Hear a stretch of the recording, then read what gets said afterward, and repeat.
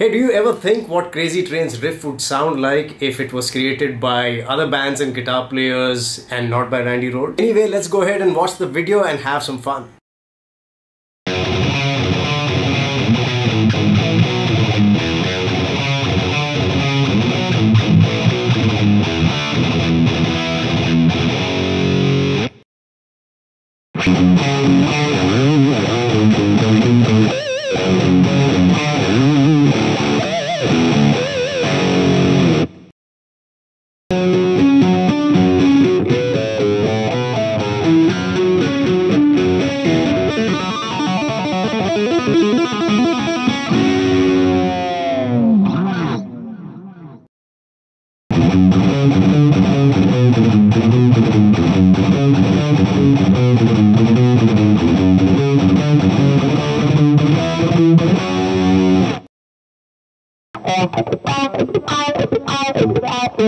Yeah.